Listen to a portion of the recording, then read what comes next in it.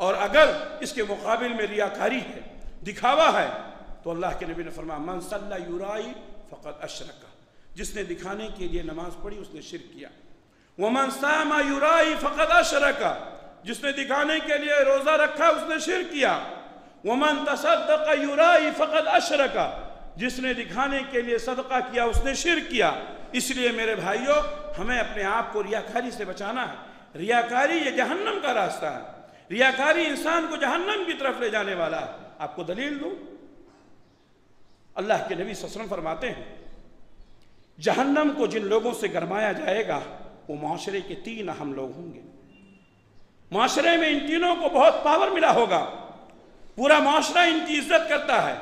ये तीन लोग जहन्नम में डाले नहीं जाएँगे, बल्कि जहन्नम में मेटेरियल के तौर पर इनका इस्तेमाल होगा। जहन्नम को भड़काने के लिए, जलाने के लिए इन तीनों का इस्तेमाल होगा। वो तीन लोग कौन होंगे? कौन होंगे वो तीन लोग? कभी आपने गौर किया? समाज और माशरे के तीनों मज़बूत सुतून होंगे। एक वो शख्स जिसको अल्लाह ने बहुत माल दिया।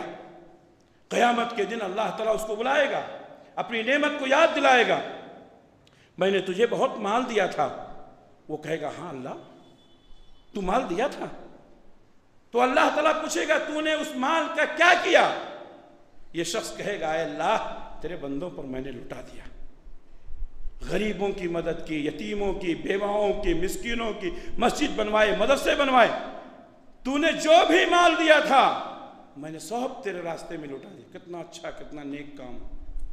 अल्लाह के नबी वसल्लम फरमाते हैं कि अल्लाह ताला कहेगा हाँ ये तो ठीक है तूने ये सब काम किया, लेकिन तेरी नीयत ठीक नहीं थी।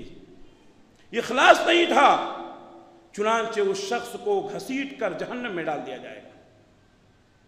एक मालदार शख्स जिसने अपनी पूरी दौलत अल्लाह के रास्ते में लुटा दी, इखलास ना होने की वजह से कहा जा रहा है? जहन्नम में जा रहा है।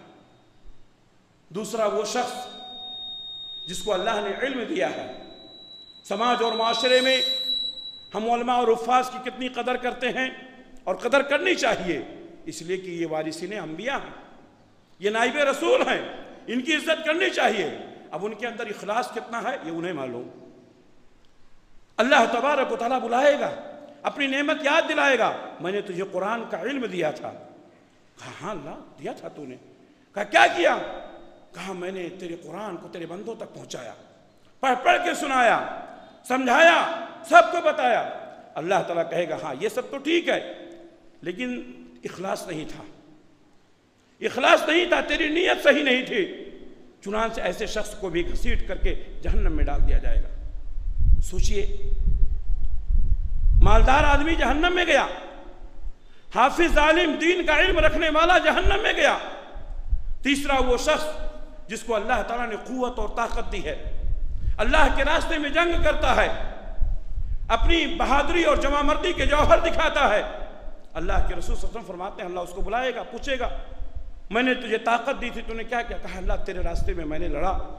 यहाँ तक कि मैं शहीद हो गया। अल्लाह ताला कहेगा, ये बात तो ठीक है, लेकिन तेरी नीयत सही नहीं थी। तेरा मकसद यह था कि लोग तुझे पहलवान कहें, लोग तुझे बहादुर कहें, लोग तुझे शहीद कहें। दुनिया ने तुझे कहा चुनाचे उसको भी घसीट कर जहन्नम में डाल दिया जाएगा। अल्लाह के नबी ससरम फरमाते हैं, यही तीन लोग हैं जिनसे जहन्नम को गरमाया जाएगा, भड़काया जाएगा। अब आप सोचें कि ये तीनों समाज और माशरे के कितने मुआज़ लोग हैं। एक आलिम की, एक हाफिज की हम कितनी इज़्ज़त करते हैं। एक सखी, मालदार की हम कितनी इज़्ज़त करते हैं। एक बहादुर शख्स की हम कितनी इज़्ज़त करते हैं। लेकिन अगर इखलास नहीं है तो ये जहन्नम का ईंधन बन जाएँगे। इसलिए मेरे भाइयों, अपने दिलों में इखलास पैदा करो।